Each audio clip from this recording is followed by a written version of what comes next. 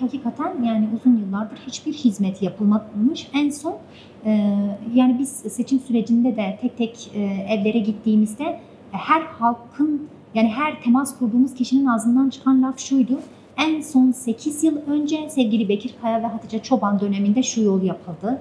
İşte 8 yıl önce bu eş başkanlarımız döneminde şu, şu su şebekesi çekildi, bu mahalleye şu yapıldı. Üzerinden bir toplumsal hafıza var. Dolayısıyla kayınlar dönemindeki hafızayı biraz açmak gerekiyor. Onların döneminde nasıl bir hafıza oluştu meselesi. Yani 10 katrilyon borç. Dolayısıyla bu nasıl... 10 milyar borcun şeyi nedir? Bir, Evet, onu açacağım Lütfen. şimdi. Hı hı. Ee, bu 10 milyar borcun e, aslında hani bu kadar halka hizmet yapılmadığı vurgusu e, yapıyoruz. Dolayısıyla asli görevi dışında birçok e, e, iş yapılmış. Yani nasıl?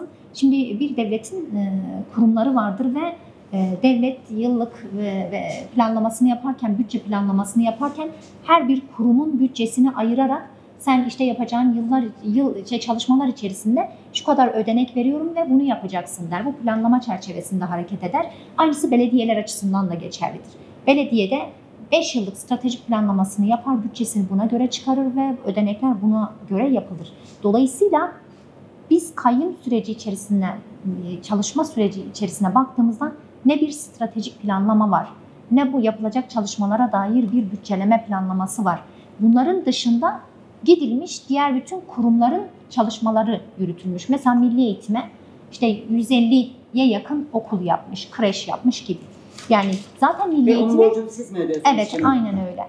Şu an bunun gibi. Yani zaten milli eğitime buna dair bir bütçe ayrılmış. Bu milli eğitimin işidir. Yine biz hep ifade ederiz. Biz okul yapılmasına, kültür merkezi yapılmasına, kütüphanelerin yapılmasına, spor komplekslerinin yapılmasına karşı değiliz. Ancak yapılmamış yollar varsa, bu kentin park ve yeşil alan ihtiyacı varsa, bu kentte hala işte 8-10 yıl önce yapılmış e, su şebekeleri varsa ve bu burada bir toplum sağlığı, halk sağlığı söz konusuysa, halkın evine giden su e, geçtiği borularda sağlık sorunu riski yaratıyorsa öncelikli görevimiz budur belediye ve yerel yönetimler olarak. Dolayısıyla bunlar yapılmamış.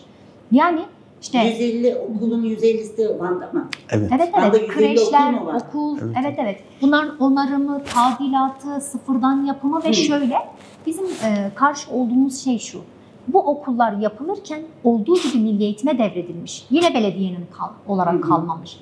Dolayısıyla yapılan e, işte e, mesela müftülüğe bağlı olan kursların yapılması ve devredilmesi, işte kültür müdürlüğüne bağlı olan e, kültür merkezlerinin yapılıp devredilmesi, gençlik spora bağlı olan e, yine belediyenin ödediği e, spor komplekslerinin, halı sahalarının yapılıp devredilmesi meselesi. Dolayısıyla bu birçok kadın e, merkezi yapılmış, kadın ve aile merkezi ve bunlar devredilmiş. Şimdi bunlar Onlar yapılırken nereye devredilmiş? işte e, Aztepe devredilmiş, hı hı, Aile Sosyal Politikalar Hı hı. Müdürlüğü'ne devredilmiş. Dolayısıyla böyle olunca yani belediye bile isteye ve çok bilinçli bir şekilde çok yüklü bir borç altında bırakılmış. Dolayısıyla bizler sadece sadece bununla da sınırlı değil. Yapılan birçok çalışmanın e, ödemeleri yapılmamış, bizim geleceğimiz döneme denk getirilmiş. Çok yüklü miktarda yani e, krediler çekilmiş ve ödemeleri bizim dönemimizde yapılmaya başlanmış. Mesela e, Su ve Kanal Kanalizasyon İdaresi'nin elektrik borcu e, işte 5 ay boyunca ödenmemiş ve biz geldiğimizde aslında icra takipleri vesaire işte e, elektriğin üzerimize kesilme riskiyle karşı karşıya kalmış oluyoruz. Dolayısıyla bunun gibi birçok e, yönelimle bizi iş yapama yani yapamaz hale getirmek, birazdan mekanizmamızı felç hale getirmek ve e, biraz da toplumla bizi karşı karşıya getirmek Sigorta gibi. borcu Onu, ödenmiş mi? onu da söyleyeceğim. Aslında 10 yıllardır ödenmeyen SGK ve e, vergi borçları aslında bu dönemde ödenmeye başlandı. İlk geldiğimiz yani işte 2 ay önce başladı. İlkin 90 milyona yakın bir kesinti İlk gerçekleşti. geldiğinizde mi? Yok 2-3 ay önce Evet. başladı bu kesintiler. Toplam ne kadar borcunuz var SGK'ya? Ee, Toplamda- Be- 500 milyon civarı. hı hı. 500 milyon civarı bir borcumuz var SGK'ya. Hı hı. Ee, İller Bankası payınızdan kesiliyor. tabii Evet. tabii kesiliyor Ne kadar bunlar. kesiliyor dediniz? Yani değişiyor. İlk kesinti 90 milyona yakın Hı hı. kesinti oldu. Sonraki ay 120 milyona yakın kesinti oldu ve böyle peyderpey devam ediyor. Dolayısıyla yani bu kesilen 120 milyon e, bütçeyle siz birçok iş yaparsınız aslında. Yani şunu demek istiyoruz. Elbette ki bir borç varsa ödenmesi gerekiyorsa ödenir ama 10 yıllardır ve özellikle kayyım döneminde hiçbir şekilde ödenmesi problem haline getirilmeyen borçların bizim dönemimizde kesilmesi ve dolayısıyla e, yani bütçesiz bırakarak hizmet yapamaz hale getirilmesi meselesiyle bizler karşı karşıyayız. Biz hep şunu ifade ediyoruz. Elbette ki birçok kurumla ortak protokoller yapılarak çalışmalar yürütülebilir. Ancak bu halkın kaynakları, bu halkın ihtiyaçlarını gidermek için vardır. Bu halkın ihtiyaçları giderilmemişken diğer kurumlar kendi bütçelerini kullanarak o hizmetleri üretebilecekken özellikle belediye üzerinden bu ihtiyaçlar giderilmeye çalışılmış ve belediyenin kaynakları bile isteyen diğer kurumlara peşkeş çekilmiş. Biz e, bu şekilde hani belediyenin borçlanma halini e, sürekli kamuoyuyla paylaşıyoruz. Aslında halk çok politik bir halk ve e, bu borç e, durumunu zaten kendileri biliyor. Gittiğimiz birçok mahalle toplantısında, aile ziyaretlerinde e, halkın e, ilk kalkıp söylediği şey şu. Bizler belediyenin bile isteye çok ciddi bir borç e, yığını altında olduğunu biliyoruz. Bizler her zaman sizin yanınızdayız. Bizler hangi koşulda olursa olsun belediyemizin, irademizin yanındayız ve bizler sizin için ne yapabiliriz e, refleksiyle karşı karşıya kalıyoruz.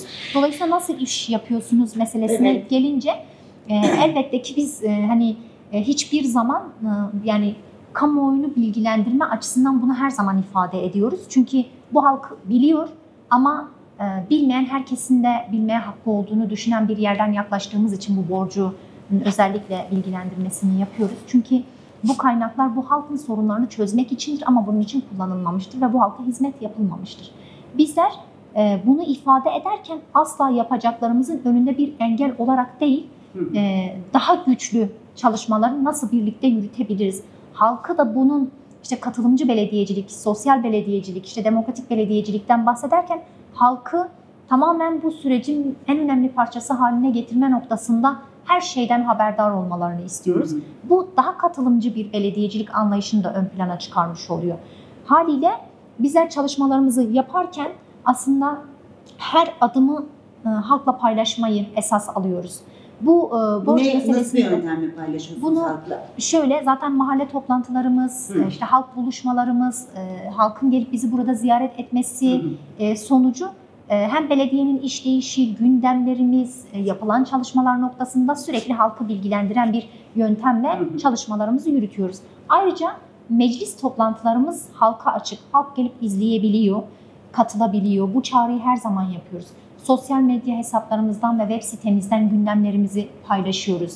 Aynı zamanda e, kayıt altına alıp belediye sayfasından da paylaşabiliyoruz ve halk aslında belediyenin her adımını izleyebiliyor. Çağrılarımızı yapıyoruz. İhaleler sürecinde gelip izleyebilirsiniz. Çok şeffaf bir şekilde bir belediyecilik e, modeli ortaya koymayı düşünüyoruz. Dolayısıyla hem halkın e, belediye yönetimine olan güvenini ve bağlılığını da bu yöntemle arttırmış oluyoruz.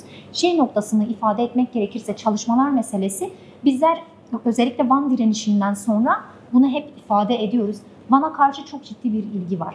Sadece işte yani Türkiye'den e, değil, Orta Doğu'dan, işte Avrupa'dan, dünyanın birçok yerinden buraya e, ziyaretler oluyor ve yurt dışından özellikle bizimle iletişime geçip Van'la kardeş belediyecilik olsun, gerekli diplomatik ilişkiler olsun bu noktada çok ciddi bir ilgi olduğunu, işte sizinle birlikte şu projeleri ortak yür- yürütebiliriz, e, şu anlamda sizlere destek sunabiliriz gibi gibi görüşmelerimiz de çok sık oluyor. Az önce ifade ettiğimiz diplomatik ilişkiler de aslında bu çerçevede e, yürüyor yani.